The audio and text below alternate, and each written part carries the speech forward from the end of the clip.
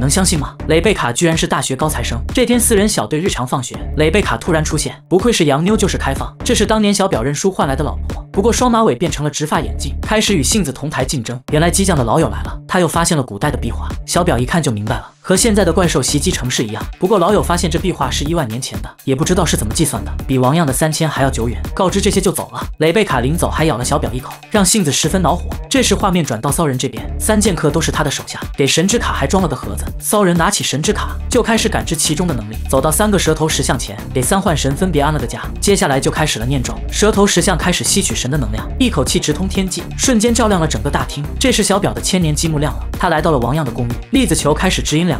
来到了另一个世界，只见一旁的空间中有只大眼睛，无数的怪兽都被吸了进去。之后二人又换了个场景，来到了无名之龙被封印的地方，两人手拉手降落。突然黑魔刀女孩出现，表示怪兽世界遭遇了危机，而这与小表的世界也有关。小表询问怎么解决，女孩表示要唤醒这几个无名之龙。两个人开始干活，将封印之剑拔出，被冰封的龙露出真容。这时两个口胡王开始编名字，没错，你就叫提马欧斯。哦，原来我叫这个名字。就在这时，小表醒了，抱着决斗盘就往外冲。此时的现实世界，无数战斗怪怪兽。被吸收，又是那只大眼睛，没错，是骚人搞的鬼。他不想打牌搞王样了，想直接吸收掉王样。小表拿出刚硬的提马欧斯，直接具象化，一口老火喷出，与大眼怪对搏，居然赢了。提马欧斯干废大眼怪。这时女孩出现，拜托两个游戏打倒幕后黑手。两个游戏明白是有牌打了，那自然是不能拒绝。